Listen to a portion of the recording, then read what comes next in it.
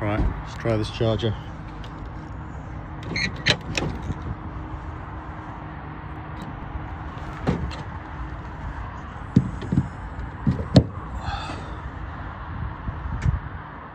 Will it charge?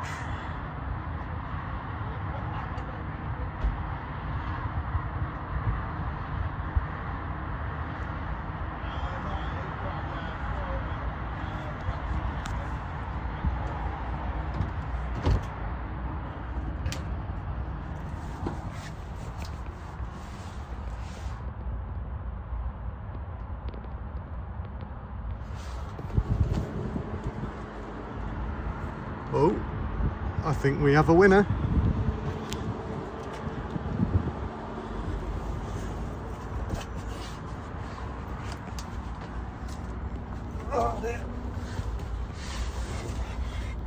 Jumping into the truck.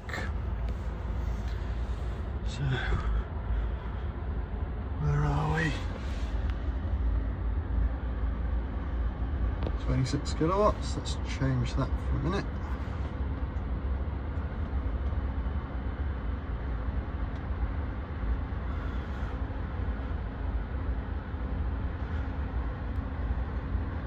This is looking like we're good. Exciting. Time to tear this thing down. Right, it's up to 56%. Didn't get a big speed, but I think it's proven our point.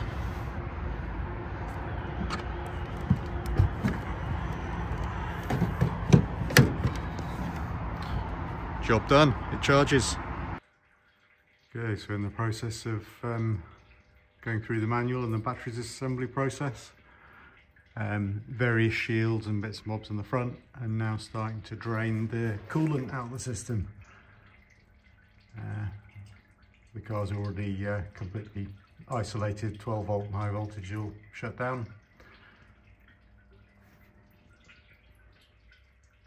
Okay, so I think I'm ready to drop the battery. So all the coolant's out, all the high voltage. Got these benches underneath and all the perimeter bolts. So, see if I can.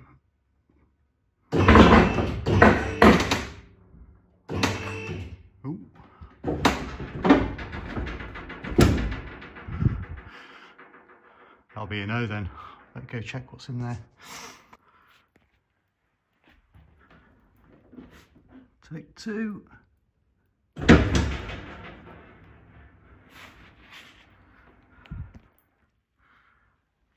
Go again.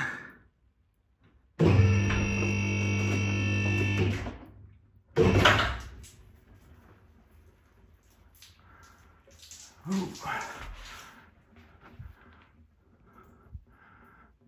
Something.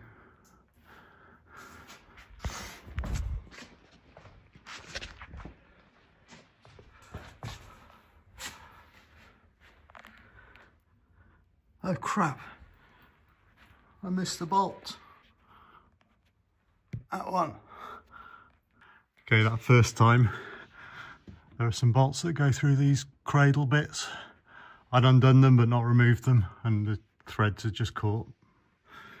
But you can see inside, everything's stripped out. There are a few bolts that go from the top down into the battery.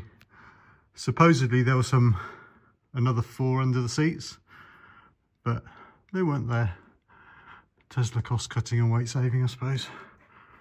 Right.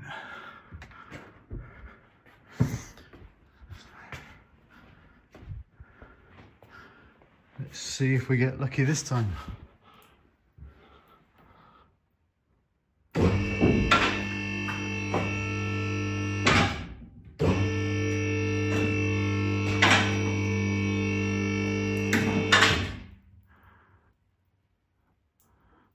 So we have liftoff. Just that, it's that coolant pipe catching.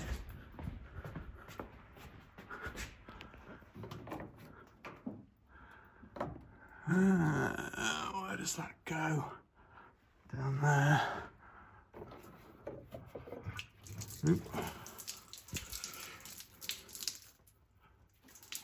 it's not that one. This one. So undo that connection there, I think. Okay, so that's that one disconnected. And for reference, that's what this battery pack is. I've read that that part number is the one with the short modules, but I haven't seen one with as later suffix as P on the end. So I can't imagine that I've changed things between then and then switching over to the LFP packs. But there you go. But yeah, nice clean underside.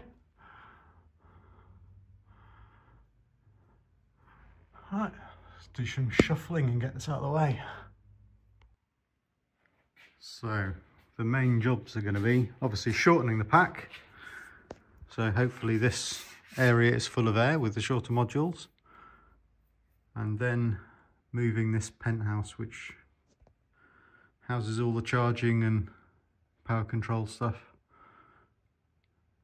So hopefully that'll go up behind where the back seat is now. And I'll just have some short links from um, the end of each module. So you've basically just got a, a, a ground and power at each end of the modules. So you've got two on one side connected in series, uh, the pyro fuse, and then the other two modules connected in series. But I'll probably remote mount everything that's in here because like I said before, I need to get my uh, seat probably mounted as low as possible around here. The terminals are over towards the back. So I'll make a, a little cover, but obviously it'll be a lot lower um, and further back. So that should be okay. So yeah, now I've just got to find all the fixings, then break um, the sealant from the top and bottom. So the bottom's steel for um, just protection, but the, the top is all aluminium. So, and various fixings. And then what people do have issues with are these connectors.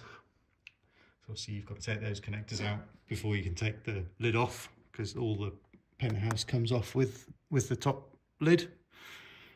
Um, yeah, and that's a bit fiddly. And the last thing you want to be doing is breaking these high voltage bits because Tesla aren't going to sell you those. so far, so good.